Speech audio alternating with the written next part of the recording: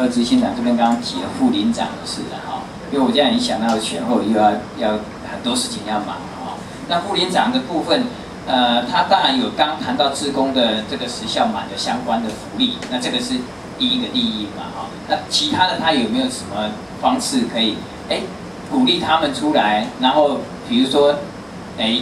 能够马上投入在这一个。啊，副领长的工作，那有没有什么培训的计划？这个社会跟何执行长要。那那个编制没有叫副领长这个字的哈，可是他也没有告诉你不能有副领长。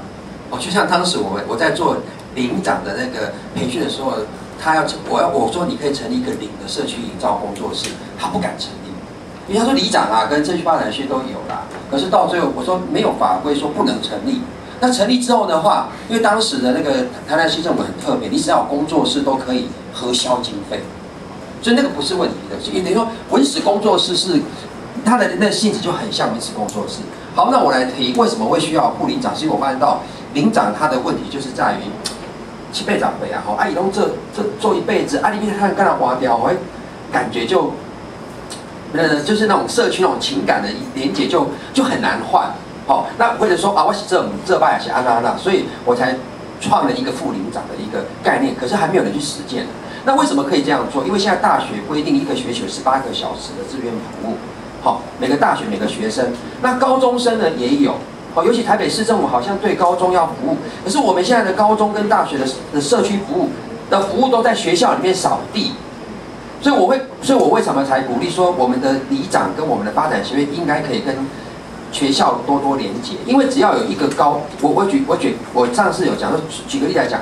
我们的国文课可不可以跟社区合作？可以啊，因为在国外他们就是让社区的的的年轻人哈去写社区的爷爷奶奶的那个那个什么叫做那个日志故事，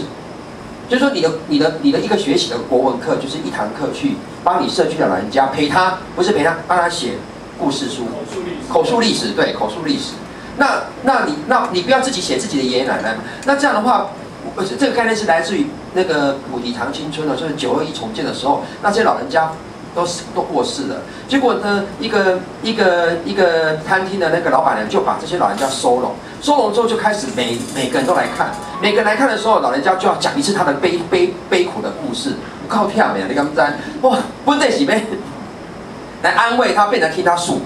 那每次都讲一样，讲到最后老人家很疲惫，所以我说我们鼓励我们的社区的年轻人为老人家做口述历史。然后你你第一次口述历史完毕之后，到第二次的时候不要再重复，看一下之前人家写的口述历史，然后再重新问别的问题。那你想想看，如果你社区有九十多岁的老人家哈，我们我们哈每个礼拜找一个人陪他写个口述历史，一年下来就五十四篇有关于这个老人家一辈子祈祷的那个故事，那是很感人。所以在那个那个旧金山哈，曾经在有一年里面，他发起为我们这个城市的老人家写口述历史运动。好，那那我回到那个我刚刚领长部就是说，你可以，我们有很多的那个配套措施哈，当然一开始不是那么容易啊。所以领长如果领长当选的时候啊，先要做就是要领长培训，还是要跟社区营造学这种方式培训哈，鼓励有有新的领长出来哈。然后呢，透过培训或者扩工工作坊的方式，怎么样做有效分工嘛？比如说一个一个社一个里可能有十个里，